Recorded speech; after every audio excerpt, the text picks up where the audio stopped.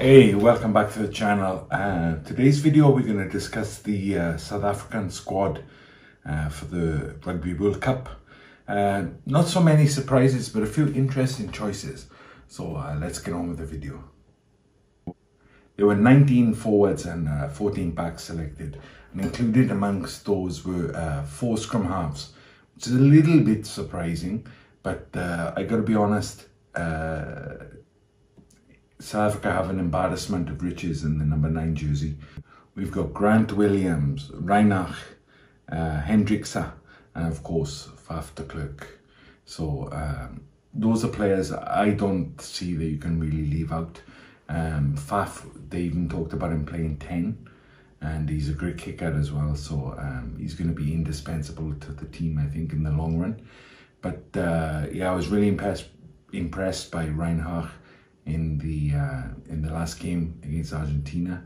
Uh, Grant Williams, absolutely fantastic to see he didn't have any long-lasting injuries after that uh, terrible collision against Argentina in the previous game. So uh, yeah, uh, it's understandable that they picked those four. The Springboks also have a great uh, choice on the wingers as well. Um, they've got they've selected Arendse, um, Kolbe, le Roux, Mapimpi, and Moodie. Now that's a world-class choice they, they've got to choose from. And of course, uh, le Roux can play uh, multiple positions, which is something the, the coach, uh, Jacques, uh, alluded to in the press conference. In the forwards, there weren't that uh, many surprises, really. Um, I will say uh, Vermeulen, uh, who I love, uh, Thor's hammer. Um, he has made a tremendous effort to get back in this side before the World Cup. Um, last year, last season, uh, he was, uh, people are writing him off, I think, a little bit. But uh, his fitness levels are up and he's had a couple of great performances in the last few matches he's played. And also uh, at the captain's armband in a couple. Obviously a great leader and uh, that's going to be really important when they hit the World Cup all in all, the selection and uh, the way Jacques talked about it is like all about uh, covering positions and the fittest players being selected. And uh, some of the combinations he talked about were like kind of surprising. For example, um, Faf at 10, Williams at 10, le Roux at 10, Moodie at 13, which I think I'd, lo I'd love to see that. Um, Willemse can play like 10, 13 or uh, 15. Kolbe at 15 or 14. So there's lots of variation they can employ in the backline. And I'd be interested to see how much they use that. Because at the moment, uh, Libbok is the only out and out uh, number 10. So uh, that's going to be really interesting to see how they how they shape up for the for the matches, especially the pool matches as well. Whether they're going to give someone like Faf, like would they give him a starting berth at 10? You know, uh, that'd be interesting to see. Like Kolbe can play 10 as well, you know, it's kind of crazy to think about. But uh, they've got plenty of variation in the backline. Um, is that a good thing or a bad thing? Like, I'm not sure. But uh, we're going to find out soon.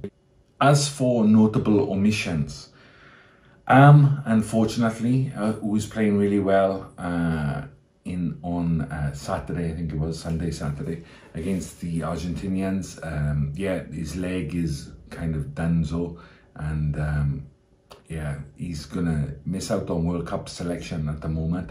Pollard hasn't made a full recovery yet in terms of match fitness, and uh, he's out as well. Uh, De Jager is um, a bit of a mystery. Um, the coach refused to like elaborate on what the actual injury was. He said this is his chest or something, but uh, like made it sound like he had his heart broken or something. Uh, so I hope he's okay, you know. Um, so uh, yeah, that was a bit of a bit of a weird one, a bit of a curveball to throw in the press conference there.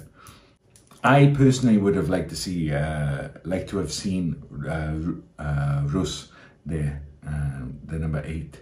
Um, I think he's a, a, fantastic player and he can only get better. And this World Cup experience would have like really like it. I think he he is one who would respond really well to the pressure of the game. But there wasn't to be. Uh, maybe he'll get a chance uh, later on down the road. And speaking of that, um, Jacques uh, did kind of talk about Am and Pollard like they were still in the squad, which was a bit weird. That's the only kind of gripe or uh, question that I have about the selection is that uh, he was talking about them being fit for the Scotland game, being fit for this game, being fit for that game. But they're not in the squad. He can't choose them unless a player is injured. So uh, that's kind of second guessing his original choices, I, th- I think, a little bit. So I think he, he, he made a little bit of a misstep there. Um, if Pollard is is fit to be selected, if, if if it's necessary, then great. Same with Am. They're two fantastic players, but you know, don't talk about them in the press conference, you know. So I thought that was a little bit of a mistake from him. But uh, apart from that, I think a very strong team. I've entitled this uh, video "The Squad" because, um, yeah, th- that's basically what it's going to be. It's going to be people backing each other up. Um, they've got a great pack as always, and in the back line, it's going to be mix and match. I think uh, as and when needed and um, yeah, they have the players and the talent to do it. Uh, Libbok looks like the, the, the choice for number ten, which I think is um, fair enough.